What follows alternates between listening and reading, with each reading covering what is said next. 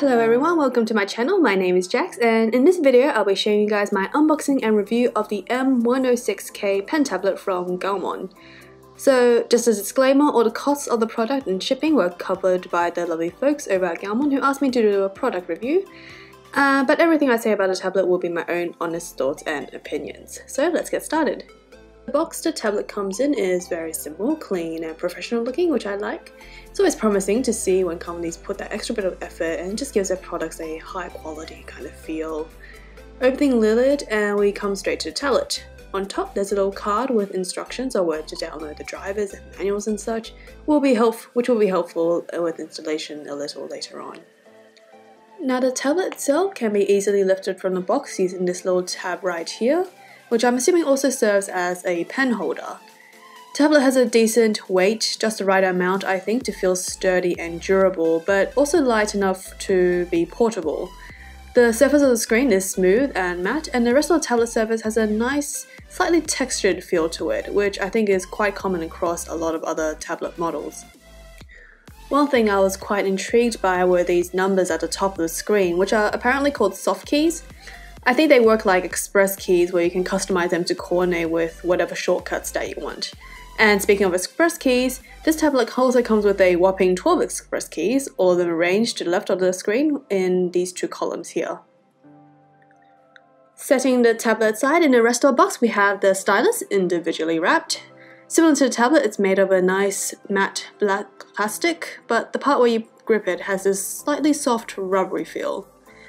The pen comes in a protective cap, which you obviously need to unscrew before you use it, and when you do, you get a nice pointy tip right here. Next up, we have this cute little pouch, quite a thick material with a velcro-like kind of feel. You have the Gaomon logo at the back and a button clasp at the front where it opens. Inside you'll find four extra replacement pen nibs, which you can insert into your pen when the current one has warmed down, and also the circular silver thing, which I think is supposed to help you do that. If you need any instructions on how to, there's a helpful instruction booklet inside explaining everything, what everything in the box does. Finally, on the left side we have another container and this one holds all the cables you need to connect the tablet to the computer. This tablet uses a USB port, so make sure you have one of those. And also we have another cable and this one is for charging your stylus. Yes, the pen does need to be charged before you use it, but I remember reading on the site that once it's fully charged, the pen has like over 300 hours of non-stop use, so you don't need to worry about it running out of power for quite a while after um, its first charge. Okay, so that's pretty much everything that's in the box. I've cleared up my desk now, and I'm just going to do a couple of quick size comparisons. I have my own pen tablet, a medium Intuos art from Wacom, which I purchased about two years ago. The pen I'm showing you on the left here is the Intuos pen. As you can see, the stylus from Gaomon is quite a bit thicker and rounder. But both fit quite comfortably in the hand, so your preference for thicker or thinner pens is completely up to you. I'm also going to show you a side-by-side -side comparison of the Intuos art with the Gaomon tablet, and this isn't exactly supposed to be a fair comparison because they're quite different products. If I were to give a Wacom equivalent of the Gaomon tablet, it will probably be the Intuos Pro, which has a size and appearance quite a bit more similar. But anyway, since we're comparing tablets, I also have my 13-inch Wacom Mobile Studio Pro, and as you can see, size-wise, they're pretty similar, except of course, being a display tablet, the Mobile Studio is quite a lot thicker and heavier. So now, onto the review. I went ahead and downloaded the drivers from the website, which was remarkably easy to do. The company doesn't have that many different products yet, so finding the right driver for the tablet was pretty simple. Today I'll be using the tablet to finish this drawing of my OC Illuma. I've drawn him on this channel before, he's kind of like this sparkly space deer thing that I've had for ages. Anyway, I did a sketch with the tablet as well, but the recording for that broke, so I can't actually show you guys that.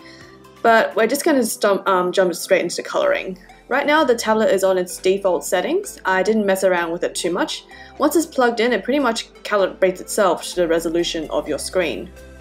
One thing that I did notice with the tablet was that there was no mouse mode. The tablet is automatically set in pen mode, which basically means that the area on the tablet corresponds to the area of the screen. So say if you move your pen to the top corner of the tablet, the mouse or brush also moves to the top corner of the screen. For me, this was a bit jarring because I've always used my pen tablets in mouse mode, which doesn't have that one to one correspondence.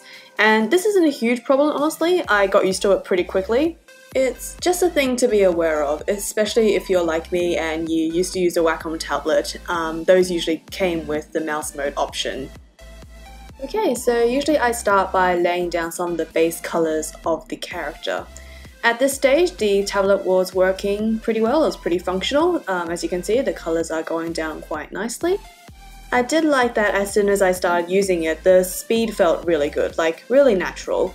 I like the surface of the tablet. It has a bit of friction, a bit of drag, which gives it the natural feel like when you're drawing onto paper. And I don't know about you guys, but I find that haptic feedback really important when drawing. It sort of helps bridge that disconnect between your hand and the screen that you can often get with pen tablets.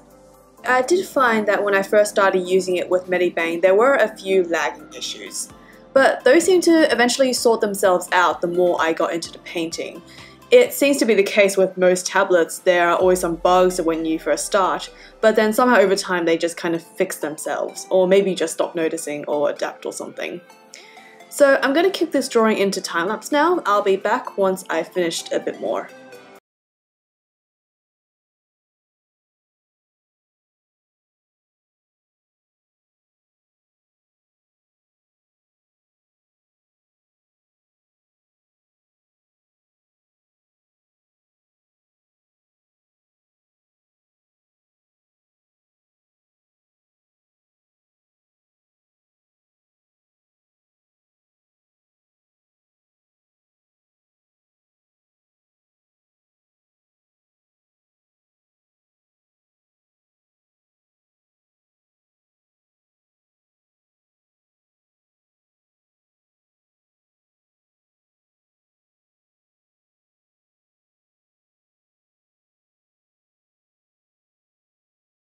Some progress.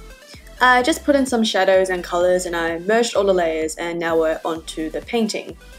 I'm actually quite liking how this is turning out actually. I really didn't know where it would be going at the start.